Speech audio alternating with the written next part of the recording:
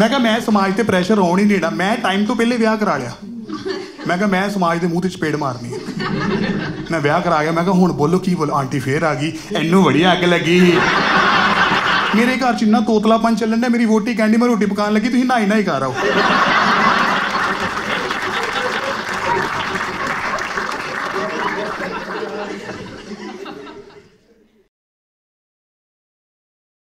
ਤੁਹਾਨੂੰ ਪਤਾ ਆਪਾਂ ਸਮਾਜ ਦਾ ਹਿੱਸਾ ਆਪਾਂ ਜਿੰਨੇ ਵੀ ਲੋਕ ਹੈ, ਸਮਾਜ ਦਾ ਹਿੱਸਾ ਹੈ। ਤੇ ਸਮਾਜ ਨੇ ਸਾਨੂੰ ਇੰਨਾ ਕੁ ਪ੍ਰੈਸ਼ਰ ਦੇ ਦਿੱਤਾ ਨਾ, ਅਸੀਂ 80% ਲਾਈਫ ਨਾ ਸਿਰਫ ਸਮਾਜ ਵਾਸਤੇ ਜੀ ਰਹੇ ਹਾਂ। ਕਿਉਂਕਿ ਸਮਾਜ ਕੀ ਕਹੇਗਾ? ਸਮਾਜ ਸਾਡੇ ਘਰ ਆ ਜਾਂਦਾ।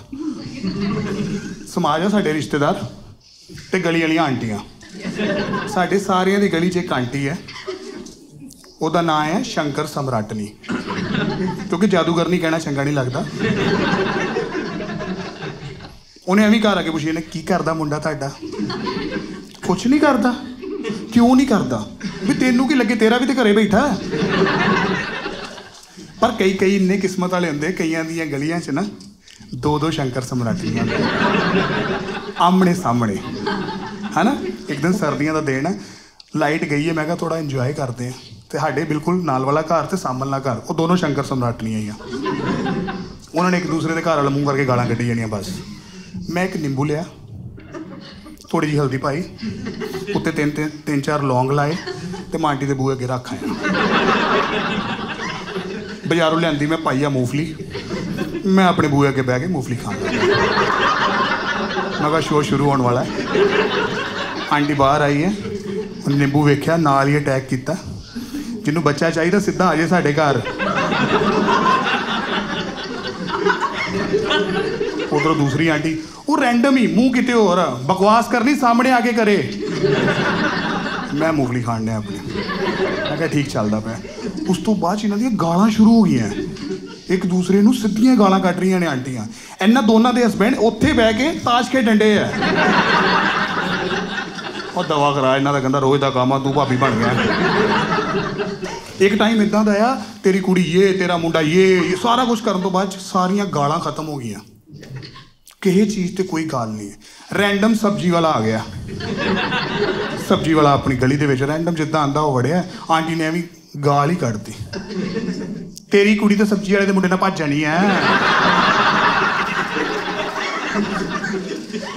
ਸਬਜ਼ੀ ਵਾਲੇ ਰੇੜੀ ਸਾਈਡ ਤੇ ਲਾਈ। ਕਹਿੰਦਾ, ਮੇਰਾ ਮੁੰਡਾ ਇੰਨੇ ਜੋਗਾ ਹੋ ਗਿਆ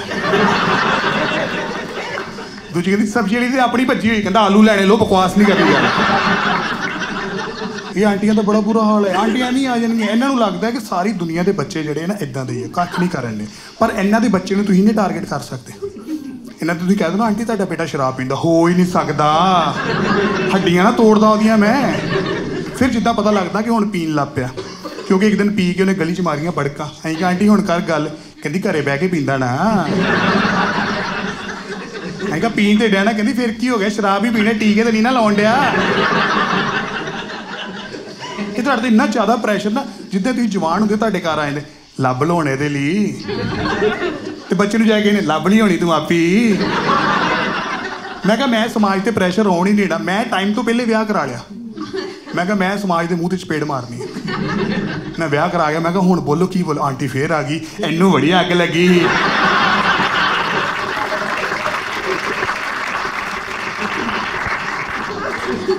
ਤੁਹਾਡੇ ਵਿਆਹ ਨੂੰ 7-8 ਮਹੀਨੇ ਹੋਏ ਹੁਣ ਇਹ ਆਂਟੀਆਂ ਵੀ ਜੱਜ ਕਰੀ ਜਾਂਦੀਆਂ। ਡਾਕਟਰ ਦੇ ਦੱਸਦੀ ਹੈ ਕੋਈ। ਤੇ ਜੇ ਕਿਤੇ ਭਾਬੀ ਦਾ ਢਿੱਡ ਥੋੜਾ ਜਿਹਾ ਬਾਹਰ ਆ ਵੀ ਜਾਵੇ, ਵੈਸੇ ਹੀ। ਗੈਸ ਹੀ ਹੋਈ ਹੋਵੇ, ਫਿਰ ਵੀ ਕਹੀ ਜਾਣਗੇ, ਅੱਛਾ, ਤਾਂ ਹੀ ਚੁੱਪ ਚੁਪੀਤੇ ਕਰਤਾ ਇਹਨਾਂ ਨੇ ਵਿਆਹ। ਆਂਟੀ ਨੇ ਮਤਲਬ ਐਵੇਂ ਪ੍ਰੈਸ਼ਰ ਦੇ ਹੀ ਜਾਣਾ, ਹਰ ਚੀਜ਼ 'ਚ ਪ੍ਰੈਸ਼ਰ ਇਹਨਾਂ ਦੇ। ਉਸ ਤੋਂ ਬਾਅਦ ਜਿੱਦਾਂ ਹੀ ਬੱਚਾ ਹੁੰਦਾ ਨਾ, ਫਿਰ ਆਂਟੀਆਂ ਦਾ ਪ੍ਰੈਸ਼ਰ ਸ਼ੁਰੂ। ਅਗਰ ਤੁਹਾਡੀ ਪਹਿਲੀ ਬੇਟੀ ਹੋ ਗਈ ਹੈ ਤੇ ਇਹਨਾਂ ਨੇ ਆਏ ਨਾ ਹੁਣ ਮੁੰਡਾ ਕਰ ਲਓ ਇੱਕ। ਜੇਕਰ ਪਹਿਲਾਂ ਮੁੰਡਾ ਹੋ ਗਿਆ, ਹੁਣ ਇੱਕ ਕੁੜੀ ਕਰ ਲਓ। ਯਾਰ, ਇਹ ਡਿਸਾਈਡਡ ਥੋੜੀ ਹੈ। ਤੁਸੀਂ ਤੇ ਆਪਣੇ ਵੱਲੋਂ ਬੱਚਾ ਹੀ ਕਰਦੇ ਹੋ ਨਾ। ਇਹ ਤੇ ਪਰਮਾਤਮਾ ਦੇ ਹੱਥਾਂ ਮੁੰਡਾ ਆਣਾ ਕੁੜੀ ਆ ਪਰ ਜਿੱਦਾਂ ਹੀ ਮੁੰਡਾ ਹੁੰਦਾ ਨਾ, ਉਦੋਂ ਸਾਰਾ ਕੁਝ ਕਨਸੈਪਟ ਅਲੱਗ ਹੈ। ਰਾਜਾ ਆ ਗਿਆ। ਪਾਰਟੀਆਂ ਮੰਗ ਲੈਣਗੀਆਂ, ਭਾਜੀਆਂ ਵਾ- ਜਿੱਦਾਂ ਹੀ ਕੁੜੀ ਆ ਜਾਂਦੀ ਨਾ, ਇਹਨਾਂ ਦਾ ਮੂੰਹ ਹੀ ਬਣ ਜਾਂਦਾ ਯਾਰ। ਮੇਰੀਆਂ ਦੋ ਬੇਟੀਆਂ ਪਹਿਲੀ ਬੇਟੀ ਵਾਰੀ ਵੀ ਮਤਲਬ ਨਾਰਮਲ ਸੀਗਾ। ਕੋਈ ਗੱਲ ਨਹੀਂ ਯਾਰ ਕੀ ਦੇ ਦੇਗਾ ਪਰਮਾਤਮਾ। ਮੈਂ ਕਿਹਾ, ਕੀ ਹੋ ਗਿਆ? ਉਸ ਤੋਂ ਬਾਅਦ ਆਂਟੀਆਂ ਫਿਰ, ਲੈ ਲਓ ਚਾਂਸ ਹੁਣ। ਮੈਂ ਕੋ ਚਾਂਸ ਨਹੀਂ ਕਹਿੰਦੇ ਉਹਨੂੰ। ਫੈਮਿਲੀ ਪਲੈਨਿੰਗ ਹੈ।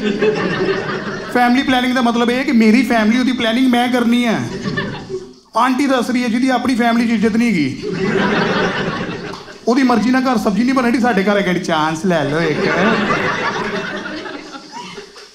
ਤੇ ਜਿ- ਜਿੱਦਾਂ ਅਗਰ ਤੁਹਾਡੀ ਪਹਿਲੀ ਬੇਟੀ ਹੈ ਨਾ, ਤੇ ਲੇਡੀ ਪ੍ਰੈਗਨੈਂਟ ਲੋਕੀ ਆ ਕੇ ਨਾ ਖੁਆਬਾਂ 'ਚ ਵੀ ਮੁੰਡਾ ਹੀ ਦਿਖਾਉਂਦੇ ਆ। ਤੇਰਾ ਰੰਗ ਬੜਾ ਲਿਸ਼ਕਣ ਡਿਆ ਈ। ਮੁੰਡਾ ਹੋਣਾ ਈ। ਐ ਕਿ ਢਿੱਡ ਜ਼ਿਆਦਾ ਹੀ ਬਾਹਰ ਈ। ਮੁੰਡਾ ਹੋਣਾ ਈ। ਯਾਰ ਕੀ ਲੌਜੀਕ ਹੈ ਕਿੱਥੋਂ ਲੈ ਕੇ ਆਏ ਇਹ ਲੌਜੀਕ ਪਰ ਜਿੱਦਾਂ ਹੀ ਕਿਤੇ ਕੁੜੀ ਹੋ ਜੇ ਨਾ, ਲੋਕਾਂ ਨੂੰ ਪਤਾ ਨਹੀਂ ਕੀ ਮੌਤ ਪੈ ਜਾਂਦੀ ਹੈ ਮੇਰੀ ਦੂਸਰੀ ਕੁੜੀ ਹੋਈ, ਲੋਕੀ ਮੈਨੂੰ ਇਦਾਂ ਫੋਨ ਕਰ ਰਹੇ ਜਿੱਦਾਂ ਮੈਂ ਕ੍ਰਿਮੀਨਲ ਨਹੀਂ ਹੈ ਓਏ ਹੋਏ ਹੋਏ ਹੋਏ ਚਲੋ, ਕੋਈ ਗੱਲ ਨਹੀਂ ਹੌਸਲਾ ਰੱਖੋ, ਮੈਂ ਕਿਹਾ, ਹੈ?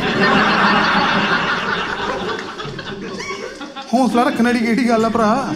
ਮੈਨੂੰ ਮੇਰੇ ਦੋਸਤ ਦਾ ਫੋਨ ਆਇਆ, ਉਹਨੇ ਨਾ ਮੈਨੂੰ ਵਧਾਈ ਦਿੱਤੀ, ਨਾ ਸਿੱਧੀ ਕੋਈ ਗੱਲ ਕਹਿੰਦਾ, ਕੋਈ ਗੱਲ ਨਹੀਂ, ਮੈਨੂੰ ਵੀ ਦੋ ਕੁੜੀਆਂ ਤੋਂ ਬਾਅਦ ਪਰਮਾਤਮਾ ਨੇ ਮੁੰਡਾ ਦਿੱਤਾ ਹੈ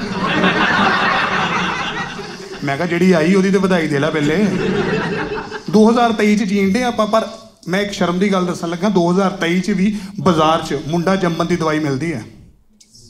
ਮਿਲਦੀ ਹੈ ਨਾ? ਕਿੰਨੇ ਲੋਕ ਆ ਜਿੱਥੇ, ਇੱਕ ਇੱਕ ਨਾ ਹੋਰ ਸ਼ਰਮ ਦੀ ਗੱਲ ਮੈਂ ਦੱਸਣ ਲੱਗਾ, ਜਿੱਦਾਂ ਹੀ ਮੇਰੇ ਦੂਸਰੀ ਬੇਟੀ ਹੋਈ, ਮੈਂ ਉਹੀ ਆਂਟੀ ਜਿਹੜੀ ਤੇਰੇ ਪਹਿਲੇ ਵੀ ਕੁੜੀ ਹੈ ਨਾ, ਮੈਂ ਕਿਹਾ ਹਾਂਜੀ, ਤੂੰ ਟੈਸਟ ਨਹੀਂ ਕਰਾਇਆ ਸੀ? ਦੈਟ ਮੀਨਸ ਕਿ ਹਜੇ ਵੀ ਇਹ ਚੀਜ਼ਾਂ ਹੈਗੀਆਂ ਨੇ। ਹਜੇ ਵੀ ਸਮਾਜ ਦੇ ਵਿੱਚ ਇਹ ਚੀਜ਼ਾਂ ਚੱਲ ਰਹੀਆਂ ਨੇ। ਸਿਰਫ ਅਗਰ ਲਿਖਿਆ ਗਿਆ ਨਾ, ਇੱਥੇ ਲਿੰਗ ਨਿਰਧਾਰਿਤ ਟੈਸਟ ਨਹੀਂ ਕੀਤੇ ਜਾਂਦੇ। ਉਹਦਾ ਮਤਲਬ ਇਹ ਹੈ ਕਿ ਟੈਸਟ ਮਹਿੰਗਾ ਕਰਤਾ ਆਪਾਂ ਹੋਰ। ਹਨਾ? ਬਟ ਬੇਟੀ ਹੋਣਾ ਵੀ ਮਾੜੀ ਗੱਲ ਥੋੜੀ ਹੈ। ਬਟ ਸਮਾਜ ਇੰਨਾ ਜ਼ਿਆਦਾ ਪ੍ਰੈਸ਼ਰ ਪਾ ਦਿੰਦਾ, ਇੰਨਾ ਜ਼ਿਆਦਾ ਬੰਦਾ ਪਾਗਲ ਹੀ ਹੋ ਜਾਂਦਾ ਯਾਰ ਕੀ ਮੈਂ ਫੋਨ ਹੀ ਚੁੱਕਣਾ ਬੰਦ ਕਰਤਾ। ਉਸ ਤੋਂ ਬਾਅਦ 'ਚ ਉਹੀ ਆਂਟੀ ਆਪਣੇ ਬੇਟੇ ਦੇ ਨਾਲ ਆਈ ਹੈ ਬੇਟੀ ਵਾਸਤੇ। ਅਸੀਂ ਲੱਡੂ ਦਿੱਤੇ ਹੈ। ਹੱਥ 'ਚ ਲੱਡੂ ਆ ਤੇ ਅੱਗੋਂ ਕਹਿਣ ਦੀ ਹੈ ਕੁੜੀਆਂ ਚੰਗੀਆਂ ਹੁੰਦੀਆਂ ਭੈਣ ਜੀ। ਮੁੰਡੇ ਕਿੱਥੇ ਸਾਥ ਛੱਡ ਦੇਣ ਪਤਾ ਨਹੀਂ। ਮੈਂ ਕਿਹਾ, ਆਂਟੀ, ਮੇਰੇ ਚੱਕਰ 'ਚ ਆਪਣਾ ਪ੍ਰੋਡਕਟ ਨਾ ਨਾ ਖਰਾਬ ਕਰੋ ਤੁਸੀਂ। ਉਹਦਾ ਮੁੰਡਾ ਕਹਿਣ ਲੱਗਾ ਨਾ, ਹੁਣੇ ਸਾਥ ਛੱਡ ਕੇ ਤੁਰ ਕੇ ਘਰ ਜਾਏਂਗੀ।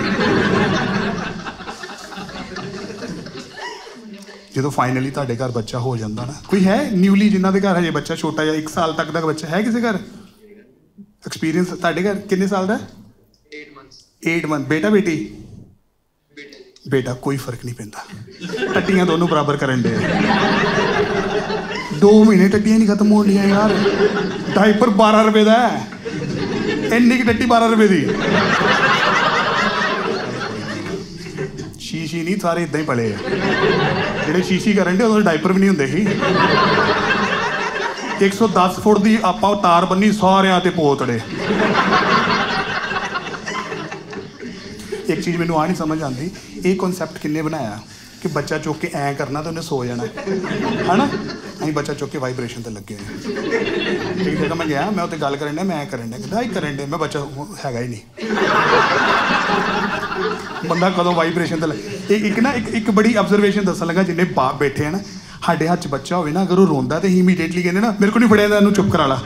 ਮਾਵਾਂ ਨੂੰ ਲੱਗਦਾ ਸਾਨੂੰ ਚੁੱਪ ਨਹੀਂ ਕਰਾਉਣਾ ਆਂਦਾ ਸਾਰੀਆਂ ਮਦਰਸ ਨੂੰ ਇਹੀ ਲੱਗਦਾ, ਪਰ ਸੱਚਾਈ ਇਹ, ਅਸੀਂ ਆਪਣੇ ਬੱਚਿਆਂ ਨੂੰ ਰੋਂਦਾ ਨਹੀਂ ਵੇਖ ਸਕਦੇ।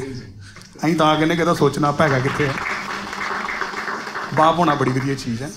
ਪਰ ਸਮਾਜ ਦੀ ਮੈਂ ਗੱਲ ਇਸ ਕਰਕੇ ਕਰਦਾ, ਸਮਾਜ ਬਹੁਤ ਇੰਪੋਰਟੈਂਟ ਹੈ। ਰਿਸ਼ਤੇਦਾਰ ਆਪਾਂ ਸਾਰੇ ਰਿਸ਼ਤੇਦਾਰ ਆ ਇੱਕੋ ਲਾਈਨ ਮੈਂ ਕਹੂੰਗਾ, ਰਿਸ਼ਤੇਦਾਰ ਬਣੋ, ਰਿਸ਼ਤੇਦਾਰ ਨਾ ਬਣੋ। ਸਮਾਜ ਦੇ ਵਿੱਚ ਅਗਰ ਕੁਝ ਇਸ ਤਰ੍ਹਾਂ ਦਾ ਹੋ ਰਿਹਾ ਨਾ ਬੇਟਾ ਬੇਟੀ ਫ਼ਰਕ ਹੋਣਾ ਹੀ ਨਹੀਂ ਚਾਹੀਦਾ ਕਦੇ ਵੀ। ਯਾਰ ਬਾਪ ਬਣਨਾ ਆਪਣੇ ਆਪ 'ਚ ਵਧੀਆ ਚੀਜ਼ ਹੈ। ਤੁਸੀਂ ਬੱਚੇ ਦੇ ਨਾਲ ਹੀ ਤੋਤਲੇ ਹੋ ਜਾਂਦੇ ਹੈਨਾ? ਦੁੱਧੂ ਪੀਏਗਾ, ਮਮ ਪੀਏਗਾ, ਬੱਚਾ ਵੱਡਾ ਹੋ ਜਾਂਦਾ, ਉਹ ਅੱਗੋਂ ਕਹਿਣ ਡਿਆ, ਮਮ ਨਾ ਕਿਹਾ ਕਰੋ ਪਾਪਾ। ਦੁੱਧੂ ਕੀ ਹੁੰਦਾ? ਮਿਲਕ ਕਹਿ ਦਿਆ ਕਰੋ, ਦੁੱਧ ਕਹਿ ਦਿਆ ਕਰੋ। ਮੇਰੇ ਘਰ ਚ ਇੰਨਾ ਤੋਤਲਾਪਨ ਚੱਲਣ ਡਿਆ, ਮੇਰੀ ਵੋਟੀ ਕਹਿੰਦੀ ਮੈਂ ਰੋਟੀ ਪਕਾਉਣ ਲੱਗੀ, ਤੁਸੀਂ ਨਹਾਈ ਨਹਾਈ ਕਰ ਆਓ।